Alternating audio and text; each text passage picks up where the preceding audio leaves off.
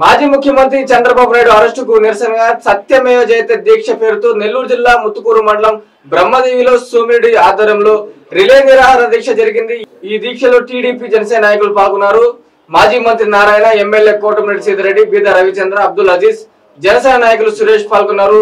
గాంధీ చిత్రపటానికి నివాళులర్పించి ప్రభుత్వానికి వ్యతిరేకంగా నినాదాలు చేశారు. అనంతరం వారు మీడియాతో మాట్లాడారు.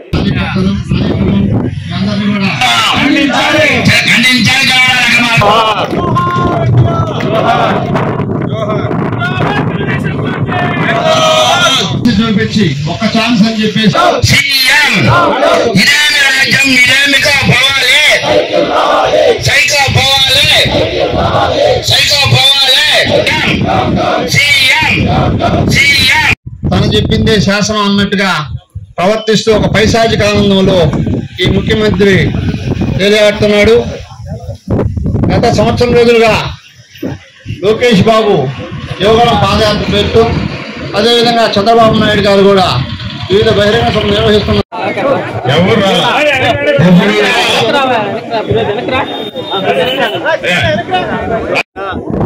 సీమెన్స్ లాంటి ఇంటర్నేషనల్ టాప్ కంపెనీలు ఒకటి ఆధ్వర్యంలో design tech skill development corporation ఆధ్వర్యంలో పిల్లలకి మంచి జరిగితే ఏ కారణం లేకుండా ఏ తప్పు లేకుండా అవినీతి లేకుండా రెండు వందల చిల్లర కోట్లు అని చెప్పి బాబు గారిని జైల్లో పెట్టావు. ఆ సెంటర్స్కి వచ్చే దమ్ము మేము మంత్రులకి ఎవరికీ లేదు. కానీ తమరు మాత్రం ముప్పై ఒక్క కేసుల్లో ముద్దాయి కరప్షన్ కేసుల్లో. ప్లస్ నలభై మూడు వేల కోట్లు రుజువులతో కూడా సిబిఐ షీట్ ఫైల్ చేస్తే పది సంవత్సరాలైంది బెయిల్ మీద వచ్చి. తమరు పెద్ద మనిషి నలభై మూడు వేల కోట్లు సాక్ష్యాధారాలతో మీరు దొరికినా మీరు బయట ఉంటారు ఏ తప్పు చేయకుండా రెండు వందల చిల్లర కోట్లు అని చెప్పి బాబు గారు జైల్లో ఉంటారు. ఎక్కడ న్యాయం అని చెప్పేసి అడగతా ఉండా. ఈ ఈ నాలుగున్నర సంవత్సరంలో మీరు చేసిన దోపిడీ ఎంత ఎంతని ఎన్ని వేలు ఎంత లక్ష దాటిందా ఒకటిన్నర లక్ష దాటిందా? ప్రజలందరికీ తెలుసు. ఏదైనా ఇంత పాపాలు చేసిన వాడని భగవంతుడు క్షమించడు. బాబు గారు బయట వస్తారు మీరు లోపలికి పోతారు. కాన్స్టిట్యూన్సీలు ఈరోజు నిరాహారం దీక్షలు తెలుగుదేశం పార్టీ మాజీ ముఖ్యమంత్రి నారా చంద్రబాబు గారు కూడా ఈరోజు రాజమండ్రి సెంట్రల్ జైల్లో నిరాహార దీక్ష చేస్తున్నారు. ఆయన సతీమణి కూడా ఈరోజు యాక్చువల్గా నిరాహార దీక్ష చేస్తున్నారు. మీకు అందరికీ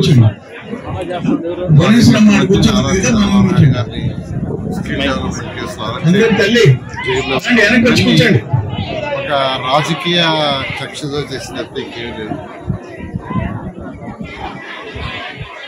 మీకందరికీ తెలుసు మహాత్మా గాంధీ గారు శాంతియుతంగా పోరాడి ఆయన మనకి స్వతంత్రాన్ని తెచ్చారు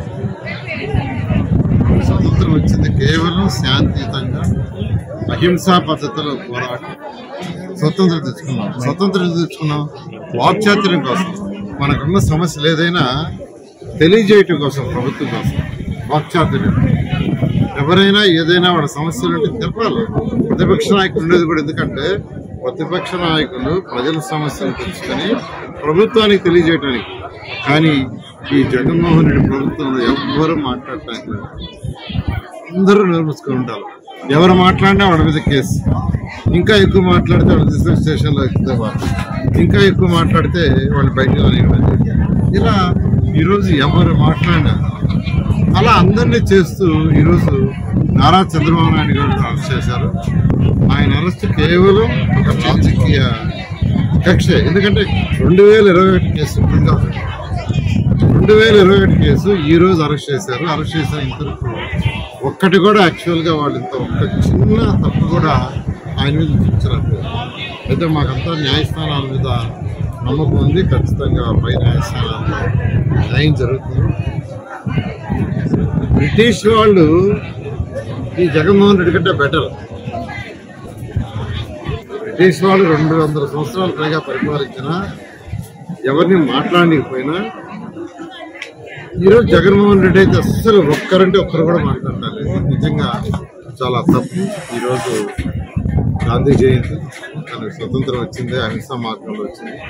ఇప్పటికైనా కళ్ళు తెలుసుకోవాలి ఎక్కడికి పోయినా ఈరోజు బాబుతో నేను అనే కార్యక్రమంలో రాష్ట్రంలో అన్ని ఇళ్ళకి నాయకులు జరుగుతున్నారు నేను కూడా నిన్న వందలు ఎక్కడికి పోయినా ఇంటికాడికి పోగానే వాళ్ళు ఏం చెప్తున్నారంటే ఒకటే అండి. ఇది చాలా అన్యాయం అండి. డెబ్బై నాలుగేళ్ళ వ్యక్తిని ఈ రాష్ట్రానికి దేశానికి ఎంత సేవ చేశాడు. అలాంటి వ్యక్తిని జైల్లో పెట్టారు. చాలా అన్యాయం. ఖచ్చితంగా రెండు వేల ఇరవై నాలుగులో మేమంతా దీనికి తగ్గట్టుగా శాస్త్రి చెప్తామని అంటున్నారు. ఇలా ప్రతి ఒక్కరూ ఇలా మేము మొన్న మా నాయకుడిని కలవడం జరిగింది. ఆయన ఒకటే అన్నట్టు అందరూ ధైర్యంగా ఉండండి. ఆత్మస్థైర్యాన్ని కోల్పోవద్దు. ప్రతి నాయకుడు వాళ్ళ పని వాళ్ళు చేయమని చెప్పడం జరిగింది. ఈ విధంగా ఈరోజు ఈ రాష్ట్రంలో జరుగుతున్న ఈ అన్యాయాలు అకృతాలు అన్నిటికీ చమర గీతం రెండు వేల ఇరవై నాలుగు ప్రజలు చెప్పడం దీక్షలు చేపట్టారు. అదేవిధంగా ఆయనపై పెడుతున్నటువంటి అక్రమ కేసులు అరెస్టుకు నిరసనగా ఇరవై రోజులుగా దేశం ప్రపంచం అంతా తెలుగువారు ఎక్కడున్నా ఆయన పరిపాలనతో అనుభవం ఉన్నటువంటి వ్యక్తులు. దేశం ప్రపంచం అంతా ఇది కరెక్ట్ కాదని తెలియజేస్తున్నారు. ఈరోజు వైఎస్ఆర్ కాంగ్రెస్ పార్టీ ఎన్ని అక్రమ కేసులు పెట్టినా అరెస్టులు చేసినా వైఎస్ఆర్ కాంగ్రెస్ పార్టీ రాష్ట్రంలో ఓడిపోవడం ఖాయం. వైఎస్ జగన్మోహన్ రెడ్డిని ఎందుకు ఓడించాలా? చంద్రబాబు నాయుడు గారిని ఎందుకు ముఖ్యమంత్రి చేసుకోవాలనేది ప్రజలు ఆలోచిస్తున్నారు.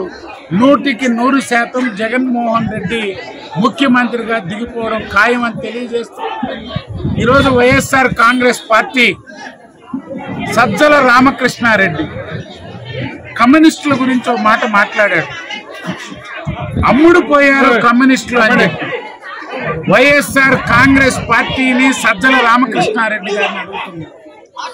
ఏమయ్యా సజ్జల? నీకు కూడా కమ్యూనిస్టులు మాట్లాడే అర్హత ఉందా? నీ బతుక్కి నువ్వు కమ్యూనిస్టులు అమ్ముడుపోయారా అని అడుగుతున్నావే? నువ్వు కాదు నీ ముఖ్యమంత్రి జగన్మోహన్ రెడ్డి కాదు. వైఎస్ రాజశేఖర్ రెడ్డి గారు ముఖ్యమంత్రి అయ్యాడంటే ఆనాడు సిపిఎం పార్టీ కార్యదర్శికున్న రాఘవులు గారు సిపిఐ కార్యదర్శికున్న నారాయణ గారు పుణ్యవతి గారు వారు ముగ్గురు లేకుండా రెండు వేల నాలుగులో రాజశేఖర రెడ్డి ముఖ్యమంత్రి అయ్యాడా? నీతో పొత్తుందా లేదా అనేది కాదు. నువ్వు ముఖ్యమంత్రి కావడానికి రెండు వేల పంతొమ్మిదిలో ఏ విధంగా కమ్యూనిస్టులు తెలుగుదేశం పార్టీని విమర్శించారు?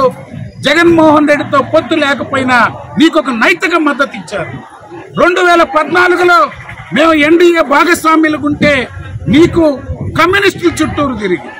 మీ తండ్రి జగ రాజశేఖర్ రెడ్డి. ఈరోజు ఉన్నటువంటి జగన్మోహన్ రెడ్డి సిగ్గు లేకుండా మీ బతుకులకి మీరు కమ్యూనిస్టులు లాంటి నిజాయితీ పరుల్ని దిగజారి మాట్లాడుతున్నారు. ఇది తగదు అని చెప్పి హెచ్చరిస్తున్నారు.